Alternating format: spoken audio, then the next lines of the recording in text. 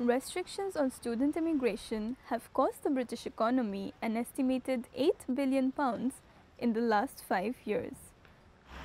The government is making it harder for international students to find a job after graduating. So less foreign students are choosing UK universities and that means less money being driven into the exchequer. But Chiroshi Mukherjee is one of those who picked UK universities over that of any other country. Um, firstly, I wanted to come to England because I wanted to have a world class education. Um, I wanted to do business, but I wanted to do business on a global scale.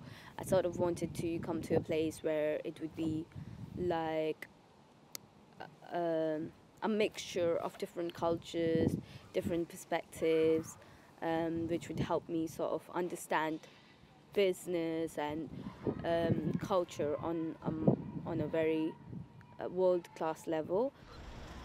International students bring an estimated 7 billion pounds to the country each year. Tuition fees for them are unregulated. This means they often pay a lot higher fees than national and EU students.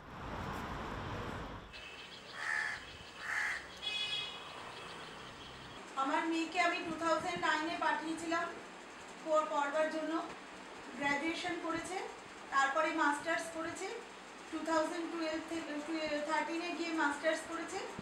আর এর জন্য আমাদের প্রায় seventy two eighty lakhs খরচা হয়ে গেছে।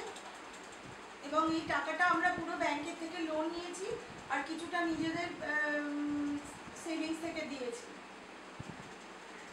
Ninety percent ব্যাংকের থেকে loan নিয়েছি আর টেন পার্সেন্ট আমরা সেভিংস থেকে দিয়েছি।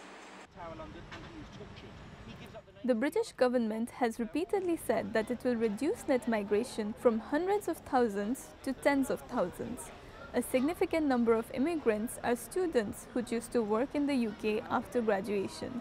So the government has been making it much harder for them to do that than before. Another area that has been a huge uh, barrier um, uh, has been the two-year post-study work visa, which I was proud to play a major part in introducing when I introduced it in Parliament in 2007. And at that stage, we did not have the two-year post-graduation work visa. We then, the government listened, the government brought it in, and if you look at the number of international students from a country like India from 2008, the figures escalated. And then, when the coalition government came in, they removed the two-year post-graduation work visa, where students from around the world could automatically stay on and work for two years in the UK to earn some more money to pay for the education, to gain some work experience, to contribute to our economy, to continue to make the generation long friendships in this country. That was removed. And now, a student, if they want to stay on and work in the UK after their studies, they're given a very short window in which to find a job, and they have to find an employer to sponsor them at a minimum threshold salary. And the practicalities of getting employers to sponsor these students has meant that very few students now are able to actually stay on for that post-graduation work experience. What you found, though, the or the Home Office view was that lots of people weren't filling skilled jobs following their degrees; they were working in shops and so on. So that's moved now to being able to swap to a skilled position under the Tier Two rules. In order to qualify under the Tier Two scheme, the minimum salary for any job is twenty thousand eight hundred pounds. But what you'll find is each specific skilled job in the codes of practice will also have a minimum salary.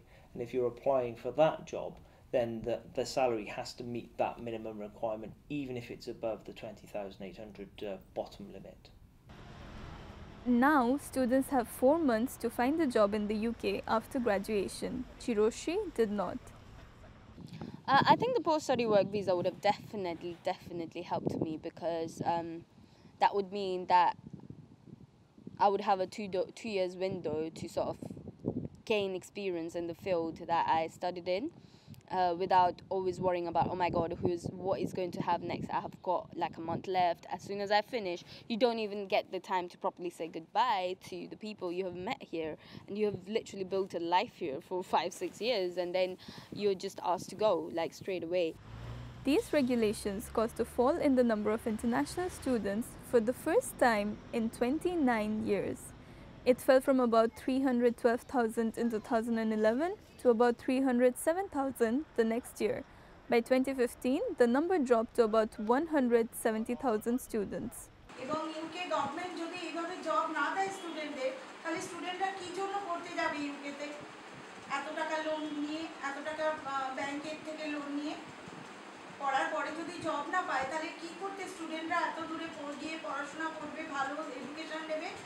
Job পায় ইউকেতে তার জন্য তো Indian জবে যে salary দেবে, তাতে সে ওই ওই ইউকেতে পড়ার জন্য যে টাকা আমরা লোন নিয়েছি, সেই পরিমাণ টাকা ইন্ডিয়াতে স্যালারিতে পাওয়া যাবে। সেই জন্যই চাইছি যাতে ইউকেতে জব করে অন্তত কিছুদিন জব করতে পারে যদি, তাহলে তার টাকার অনেকটা অংশ সে স্টুডেন্ট লোনটা শোধ করতে পারবে। তারপরে ইন্ডিয়াতে ফিরে আসুক, ঠিক আছে। আমি পথে বিক্রি হয়ে গেছি, ব্যাস, আর কি বলার আছে? বলার মতো জায়গা আর নেই।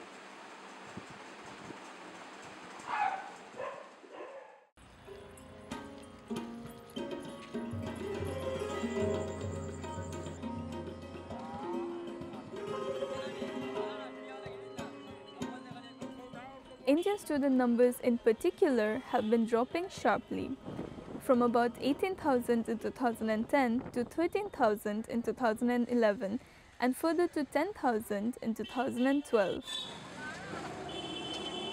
From countries like India and China, the demand for to study abroad in those countries is over 6% per year. It's increasing at over 6% per year. We need to keep up with that demand. And which are the countries they want to study in? The United States and the UK foremost, and also Canada and Australia. And at the moment, because of our immigration policies, countries like Canada and Australia are benefiting, and students from countries like India are going to countries like Australia instead of coming here to the UK. So France has said it wants to double the number of international students from India by 2020. So we should go even further by targeting specific countries and setting targets to increase the number of international students. Countries like Australia, of course, have openly said they're very grateful to the UK for their immigration policies because it is sending the brightest and the best from countries like India to Australia when they would come to England. The British government say that the policies still help the best and the brightest settle in the country. Chiroshi disagrees. So I was a student rep, I was a student ambassador. When I did my master's, I did business management. And when I finished, um, I finished with the first class, which was a distinction. And I also got one of the highest marks in my cohort for my dissertation. While I was doing my course, I got nominated as the best student representative and I won that. And after that, I also um, got nominated for Dean's Award for excellent performance in my master's and I won that as well. She was also in this year's London Pride March representing Hertfordshire. As the Chancellor of the University of Birmingham and also the uh, Chair of the Advisory Board of the University of Cambridge Judge Business School and the recently appointed President of the UK Council for International Students Affairs, UKCISA, uh, we have 500,000 international students in Britain, uh, of which 170,000 are from the European Union. International students are one of the biggest assets to this country. Uh, they bring in about 14 billion pounds directly and indirectly into the economy. They enrich our universities. Uh, our domestic students' experience is greatly enhanced by foreign students being in our universities. The way our students here can learn uh, about different cultures, different parts of the world, make friends from people from countries from all over the world. Lord Bilimoria himself came from India as an international student. I came to study in the UK. I qualified as a chartered accountant, including doing a diploma in accounting in London.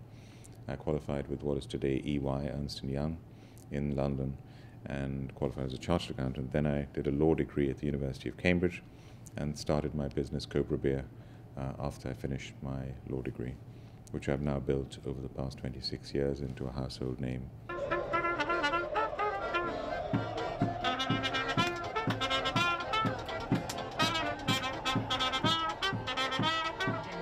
Chiroshri is not done with her life in the UK. She applied for a European Economic Area Partnership visa with her Belgian girlfriend Joanna. The application was rejected, so they applied a second time. The response is expected in November. Of sufficient evidence of your acclaim. Well, I've been awake since about 6 in the morning just to see what the result of the referendum was. I feel really scared and I feel really confused. I don't know what is going to happen, and even though David Cameron has said that he's going to resign, it is also a matter of who is going to be the next prime minister. And God forbid it's Theresa May, then people like me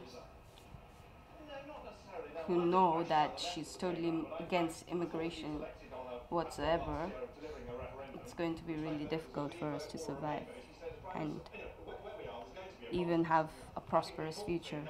Where our current Prime Minister, when she was Home Secretary, wanted international students to leave the day they graduated.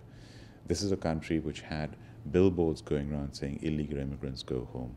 This is a country where the current Prime Minister, when she was Home Secretary, wanted to introduce a £3,000 bond for people from certain countries like India to visit this country, which was withdrawn.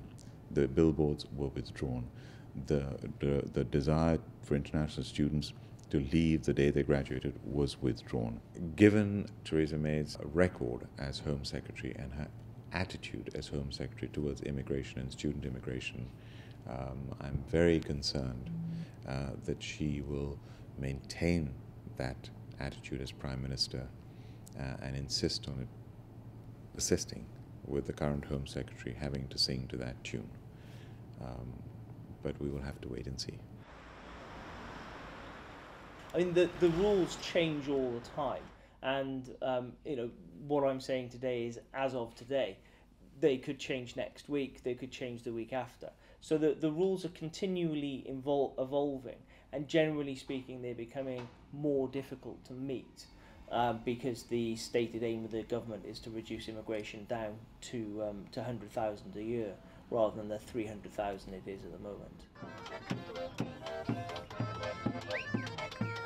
Obviously, I've faced different situations in my life, but they have never been this tough. Like, no money, no security, no job.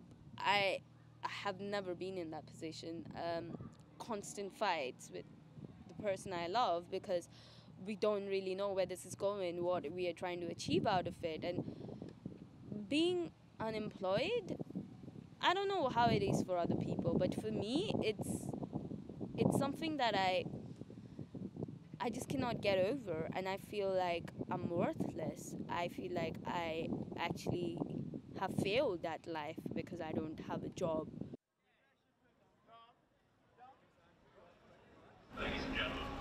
About 20% of international students stay back in the UK for five years or more, and no more than 10% settle here permanently.